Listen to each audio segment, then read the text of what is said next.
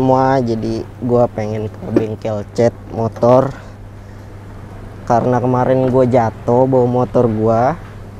Gue mau ngeliat progres motor gua gimana, sekalian gue mau ngobrol-ngobrol sama yang ngecatnya, sama Bang Ompong. Bang, Ya. Kompong di dalam. ada Bang Ompong ya? Ada di dalam. Oke. Aja. Wih, Bang, sehat? sehat alhamdulillah. Yuk. Ini motor Dede lagi dikelotokin. Jadi ini ada dua lapis kemarin deh, warna asli sama warna Iya.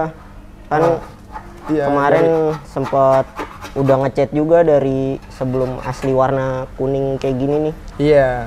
Ini makanya kita kelotokin biar nggak terlalu tebel aja deh. Eh, mau langsung ngobrol aja ke atas? Oh boleh, ayo Oke, bang. yuk kita langsung ngobrol aja ke atas. Ya, gua sekarang sama Bang Ompong. Gua lagi di daerah VGH Villa Gading Harapan. Kebetulan dekat sama rumah gua. Jadi gua lagi ngecat motor gua yang kebetulan kemarin gua jatuh. Jadi gue pengen banyak tanya juga nih sama Bang Ompongnya, gimana progres motor gua. Oh iya Bang, Iya, gimana Ah, deh? Kebetulan ini nama bengkelnya apa sih? Gitu, nama Sebenarnya bengkel nama bengkelnya itu diambil dari nama panggilan gua. Iya. Kan gua dipanggilnya Ompong. Jadi gua ambil belakangnya lah, Pongs. Garak eh garasi, Pongs Geret jadinya. Jadi gua ambil nama belakang gua aja gitu. Awalnya Bang Ompong tuh bikin-bikin motor apa Enggak, gua- servis-servisan. Sebenarnya sih kalau bengkel ini gua bangun udah lama ya. Cuman sempet vakum juga karena gua kerja dulu ya kan. Jadi gua eh, emang fokus dari dulu gua ngecat. Jadi emang gua dari dulu ngecat dari lulus sekolah lah kira-kira ngecat gua habis itu gua vakum 2 tahun lah. 2 tahun akhirnya gua keluar dari PT gue mau fokus ke sini aja dan kebetulan sekarang ini gue lebih fokus ke Vespa gitu deh Oh. Oh, berarti sebelumnya ngecat apa aja? apa aja masuk Eh, Jepangan, bebek, metik semuanya masuk cuman lebih sekarang ini ke fokus ke Vespa aja sih Mulai dari tahun kapan mulai ngecat? kalau mulai ngecat sih gue dari sekolah lah SMP gue udah ngecat cuman kalau mulai fokusnya itu kayaknya dari 2019 deh kan dari 19 udah mulai fokus dah gue Kan biasanya banyak yang nanya juga nih Dede ngecat dengan harga berapa sekian Ah. sekian. Kalau Bang Ompong tuh ngasih harga buat ke yang lain berapa sih? Kalau harga untuk eh, cuman nyiram aja dengan warna metalik gue kasih harga 2,1. 2,1. Oh, untuk warna-warna standar gitu Iya, ya? warna metalik aja, bukan bukan bunglon ya, bukan bunglon atau Iya. hologram bukan. Jadi 2,1 itu Oke. 2,1 itu untuk warna standar, bukan bunglon.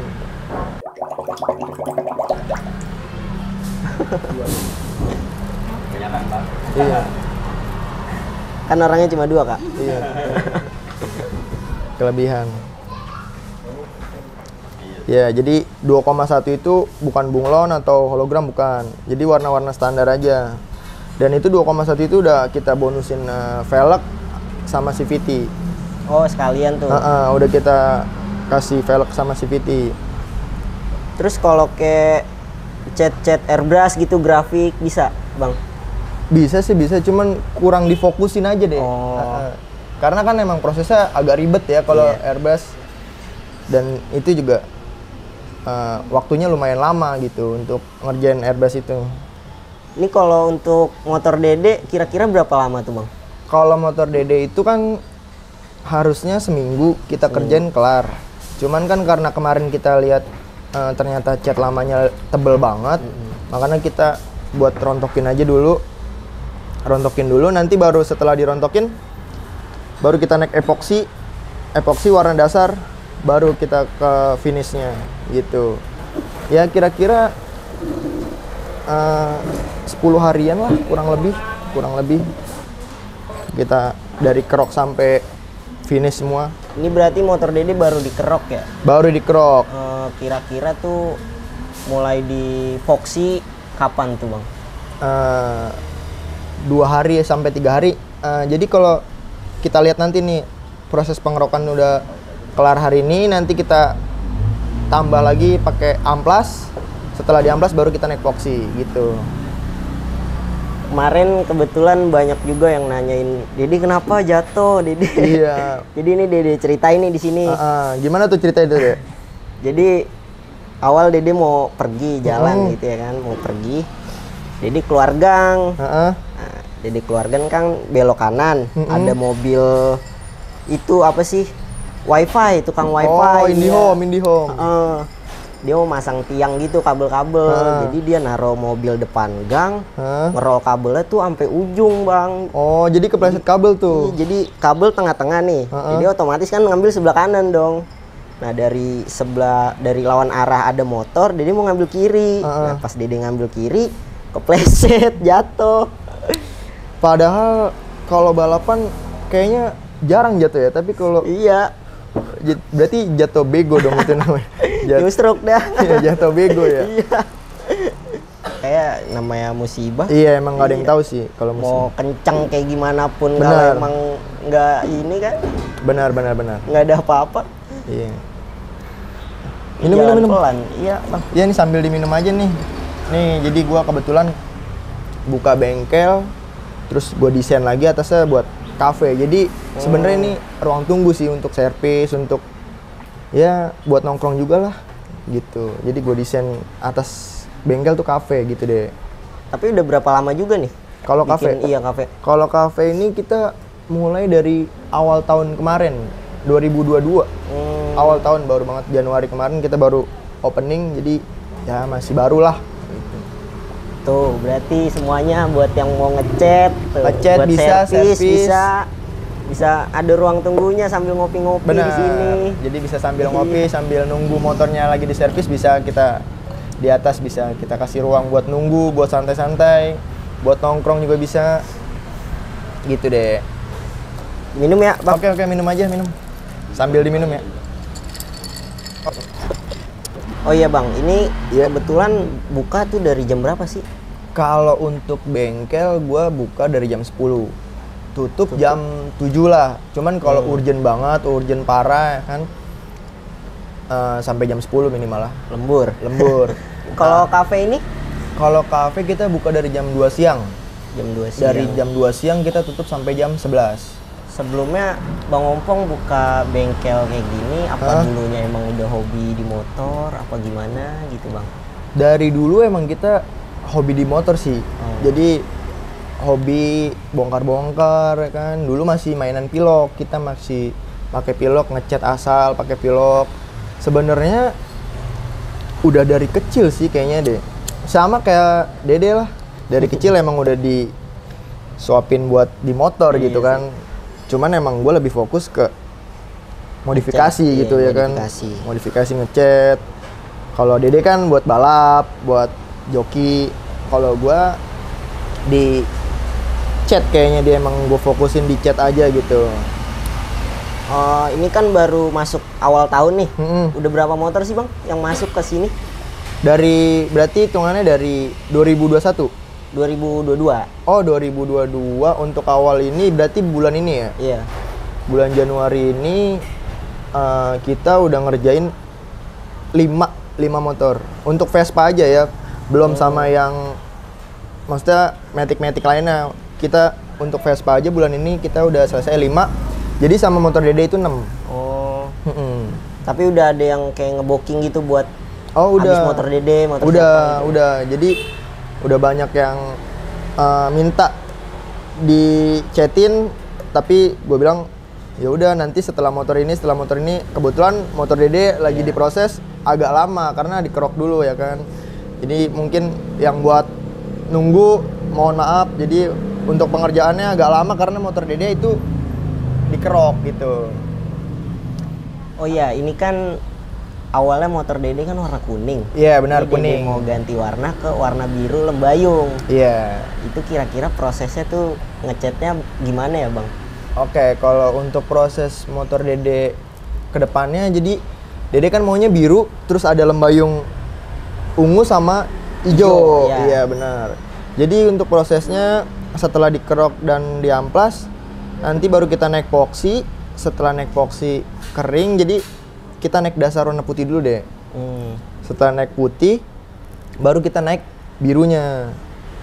Birunya udah kering total udah sempurna ya kan nggak ada yang problem lagi. Baru kita kasih kabut lembayung aja. Kita kasih kabut lembayung ungu dulu.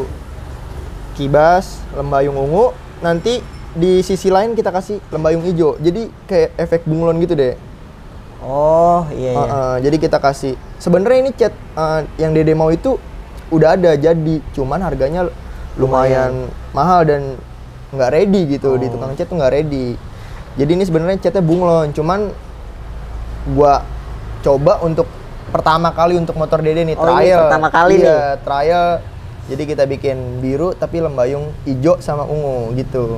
Tapi sebelumnya Bang Ompong tuh udah pernah ngecat ngecat kayak warna bunglon Oh, gitu, udah pernah. warna.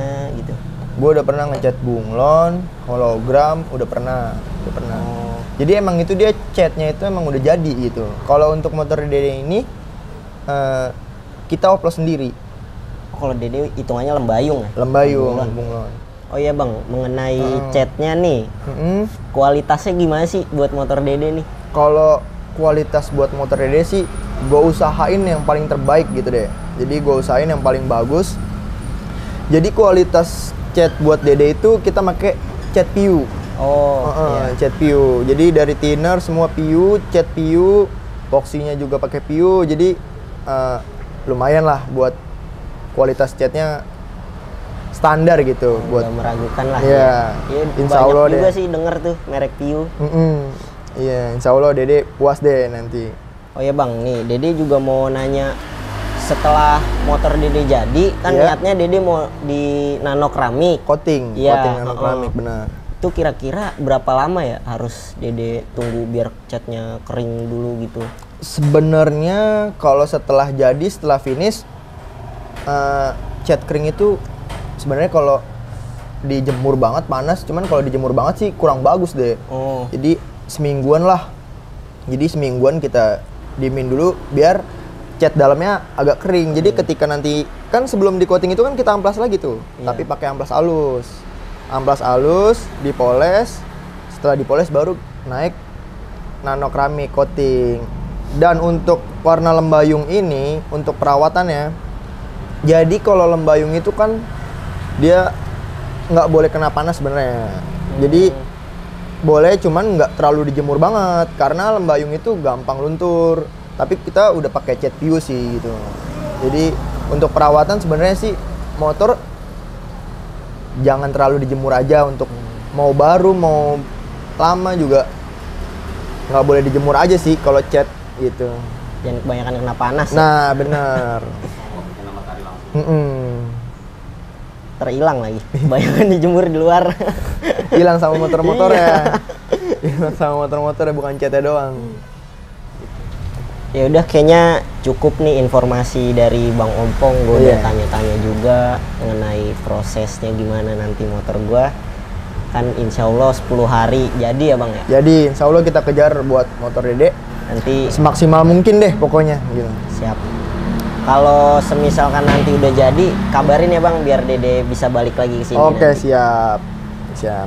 Makasih ya Bang. Oke. Yuk sama-sama